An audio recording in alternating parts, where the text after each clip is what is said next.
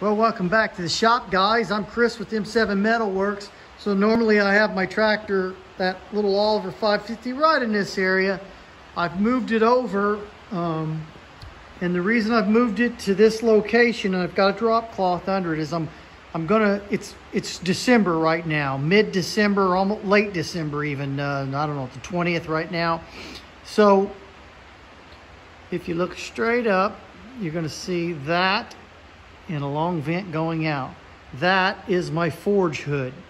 So normally I have my coal forge right here and it's exhausted up to that. That thing sucks it up pretty good.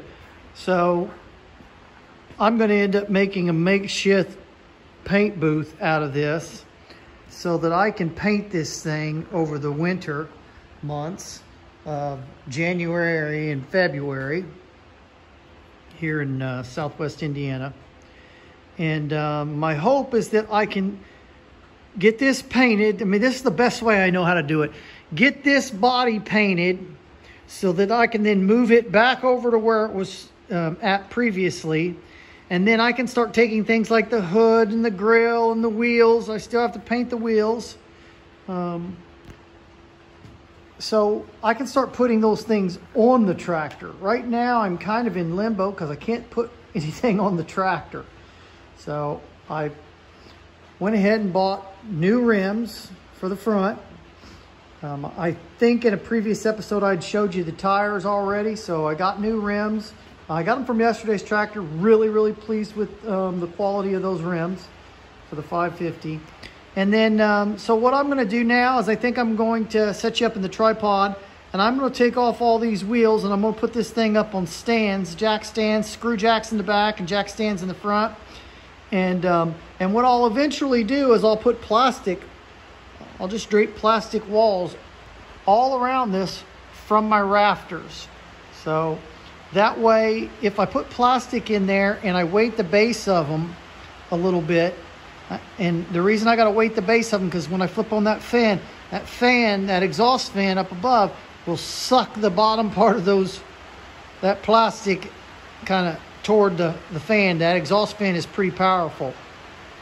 So I'll weight the base of those um, pieces of plastic. But the, the advantage to using plastic over just hanging drop cloths is I get a lot more light in there.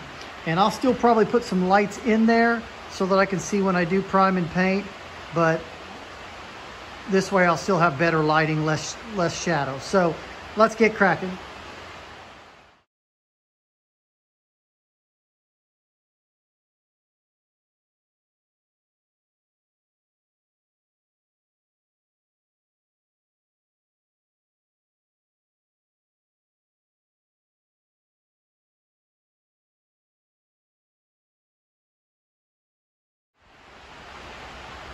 Okay guys, I'm gonna try to talk over the rain. It's pretty loud here right now. Tin barn and all, even though it's insulated, it's still pretty loud. So you saw me in um, time lapse there, pull these wheels and tires off. And uh, I've just got it on the back. I've got these screw jacks. These things are beast. The beauty of these is I can I can screw them up just tight enough to just pull the wheels off the ground um, just a hair. And that makes it much easier when I go to put those wheels back on because I will have to put it back on. Once I, I power wash this again, that's why you're seeing a little bit more rust maybe than last time you saw it because I tried to get as much of this flaking paint off as I possibly can. I'm going to wire wheel it every place that I can wire wheel it and then the places I can't get to with a wire wheel, I'll just have to use a good stiff wire brush and um, get some of them. You, you can see out here on the valve cover, I've used a wire brush just to get some of that rust off that I put on there. And um, I'll paint the exhaust manifold silver with, it's a high temp silver. And then I'll pull things like my um, distributor cap and oil filter. Those things will come off the tractor. There'll be several things that, you know, are, are fairly easy to unbolt that'll come off the tractor. And uh, other things will get taped up. You know, I'll probably tape that up or I may, eh, I'll probably tape it up. I don't know, we may see. I may take that little screw there and, and undo the couple bolts. This right here, I think I can unscrew this so that I won't have to tape that up. And uh, same thing on my shifter knob. My biggest chore is going to be getting it clean enough to where I feel I can put a good prime job on it and then paint the thing. And then, you know, I've also got to get underneath it. So I've power washed all that underneath it as well to include that oil pan, which didn't have much paint on it anyways because I took it off um, on one of the very early episodes of this rebuild. So anyways, guys, that's where we're going to leave it. And uh, again, this is where it's going to get primed and painted and it's going to get sanded right here. So uh, I use the cloth because uh, I can paint and walk around on this cloth and it's not slippery. If I put plastic on this um, to protect my floor a little bit from so much overspray, I it would just get slick as snot when it's wet. I will put more drop cloth down um, just to cover all of my edges around. Hi, Bucky. Say hi to Bucky. What do you think about this, Bucky? You think it's going to be a neat restoration? Yeah, me too.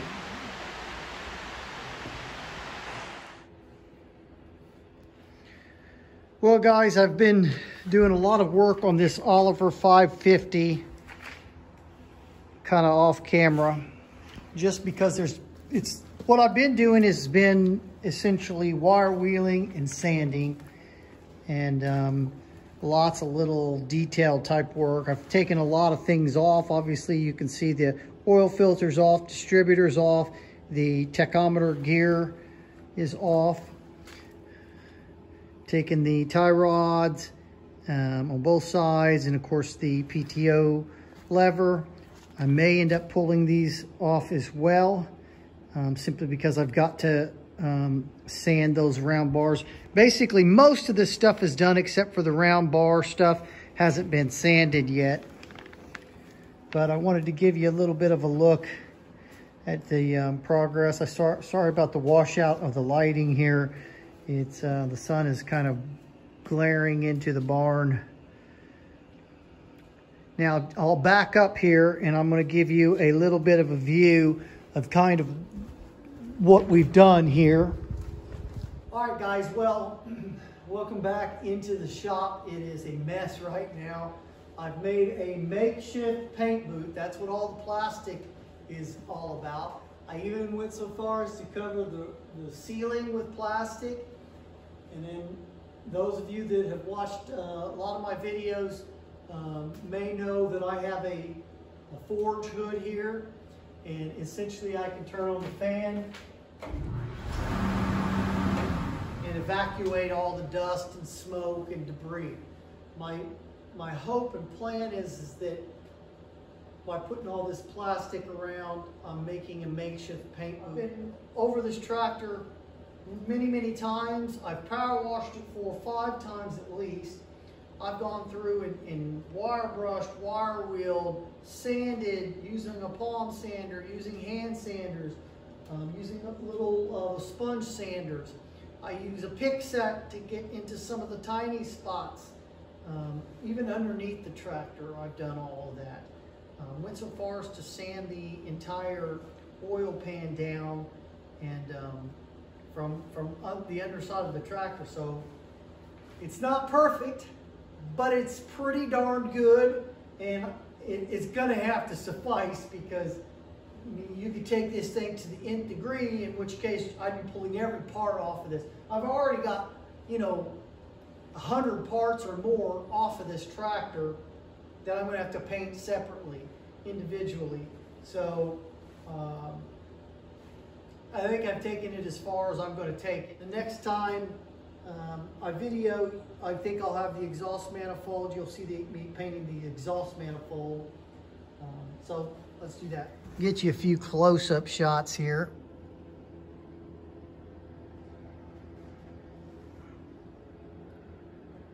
I took, went ahead and took the battery cover off, the battery tray off here.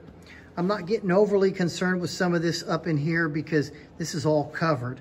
Um, I did hit it once, but I didn't get crazy on it. Now I'm getting washed out here.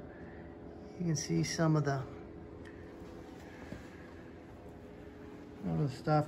Some of the wheels, very difficult to get that really, really well done pretty good through here. Some of that paint is really stuck on. Same with back here, I've gotten this really well. The places that I can get to, you know, it's not so bad, but some of those areas that you can't get to. But boy, this thing is as clean as it's been since probably new. Now the paint may look like, oh, it's terrible, but like, I can't even feel that. so now, keeping in mind this is cast, but uh, I can't feel any of that. So it looks worse than it is. I've taken sanders and run that across, and so those tend to be um, lower spots and things like that. So um, I think that my prime should take care of a lot of this. I've done very little right through here. I think I'm going to pull these lines off just so I can get in there a little bit better. And ultimately, I really don't need to paint those lines. I will tape this off and I'll remove that. I've done my best to really get the engine area good in the frame as well as I can. Same with the axles. Man, I mean, I've really taken a lot of time to get this thing as clean as I can. It's not going to be a concours restoration. You can see where I'm tipping off the manifold. And essentially I'll take some paper and I'll just run some paper on the back side and then on the underside. And then I'm gonna shoot that with some uh, high temp silver. So I've got a little bit of prep done. Obviously I've taped off everything, trying to get, you know, all the way back in there pretty good. So I'll shoot that from the other side. So you'll see me standing all over this thing. I'll set you guys up, I think about right here. I've got the intake side covered with some rubber. The exhaust, um, the muffler actually clips over this, so none of this rubber is gonna matter for the most part. I'm using this VHT flame proof, very high temperature. It says 1300 to 2000 range on the temperature. More than an adult to open it, apparently. I've got the barn sufficiently warm, I believe. So I think we're ready to go here. I did take off my covering for the carburetor. I had a uh, rubber glove with a piece of wire wrapped over this just to keep stuff, debris from going up into the intake. Um, I've taken that off just because you will see this part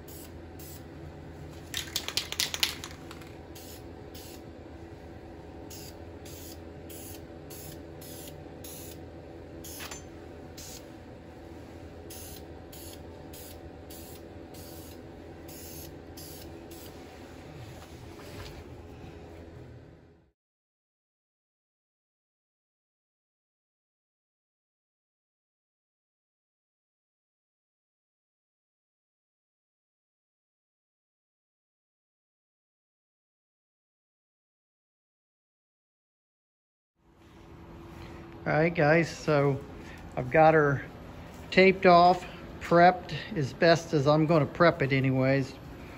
And um, we're ready to put some primer on it. This is a water-based primer. It's, um, I think it's a PPG product, if I recall. It's something they use on Boeing airplanes. So I've got some cloth in the spark plug hose, so tried to cover up threads and different things that, you know, I thought should be a good idea to cover up. So I'm gonna drop these, all this plastic around me, and I'm gonna start spraying. I've got the shop, I think, warm enough now that we shouldn't have an issue. And I'm gonna put you guys on time lapse.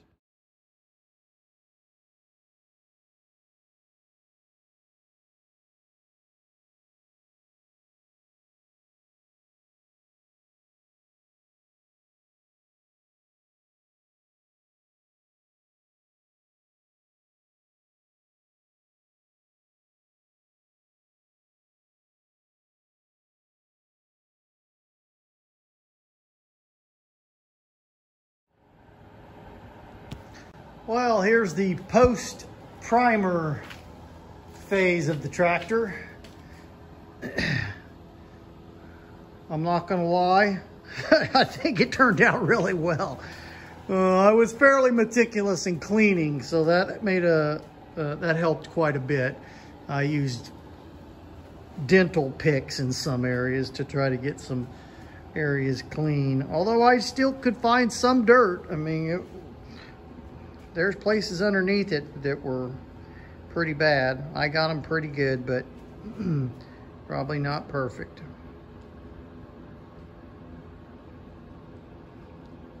So looks pretty good.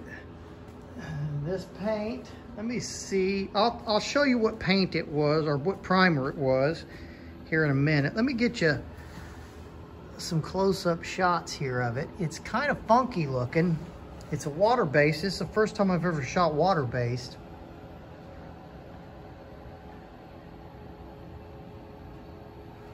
Probably on the wrong side, on the side catching light. So, I think it turned out really nice. If I can get the paint to go on just as well, I'll be happy. This stuff is real thin. You, of course, you can get it thin as you want it, but um, you just put more water in it. But anyway, it's pretty thin, and so it did want to run on me a bit. Fortunately, a run with this stuff isn't too detrimental. I've got some runs around in here, other areas I'm sure I don't even know about. I really, really, really wanted to get that oil pan clean. So I really focused on getting a primer job on the oil pan and protecting it. So I did manage to do that. So you can see there right underneath the engine bolt, there's some dirt. Most of it I was able to get.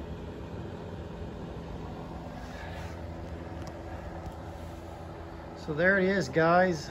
I know the lighting's a little funky. It's kind of a yellow-green primer.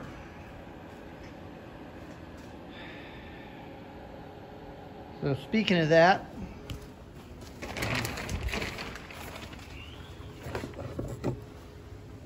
this is the primer PPG Aerospace Deft 44Y022 base component. So that's it right there. And uh, I got this for a good deal on eBay. There's the catalyst.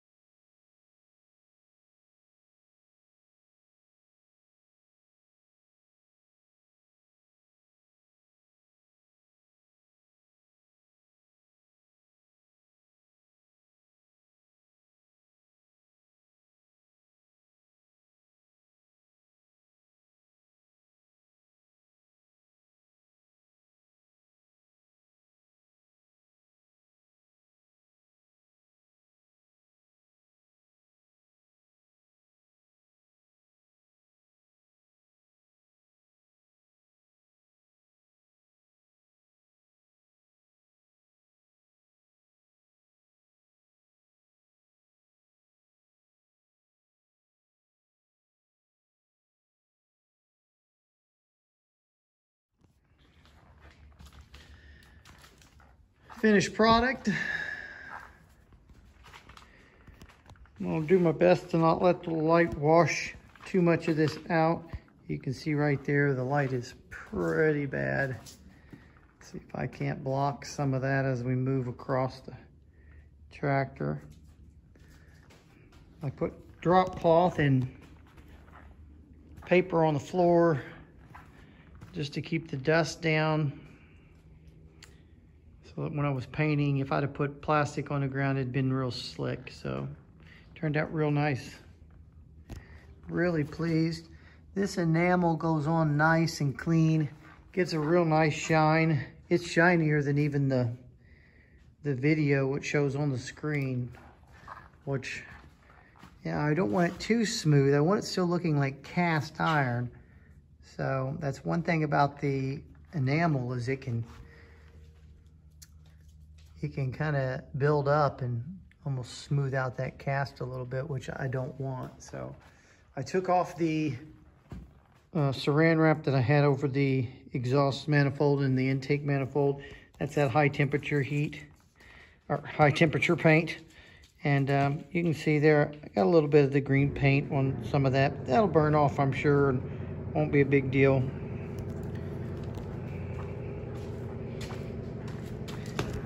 Let's see if we can squat down here.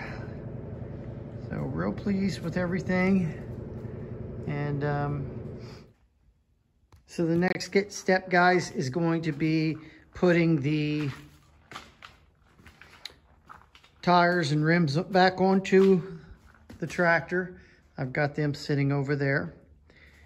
And, uh, and then what we'll do is we'll move the tractor somewhere over here. I don't know, maybe right next to compressor row, compressor alley. um, and that way then as we work on parts and I'll be able to set up some tables in here. And again, um, there's my exhaust hood. I'll, you know, it allows me to drop this plastic and kind of have a bit of a paint booth in here. And so I'll be able to set up some tables in here and be able to sand and prime and paint. And then, um, you know, once they're dried up, I'll be able to put them on over there on that side of the shop. That side of the shop, you're only getting a partial view because of the plastic. So anyways, guys, I think we'll end this video there. Um, hope it's something that's uh, that you can enjoy a little bit and maybe um, give you some ideas for your own tractor. So thanks again for watching. I'm Chris with M7 Metalworks. God bless until the next video.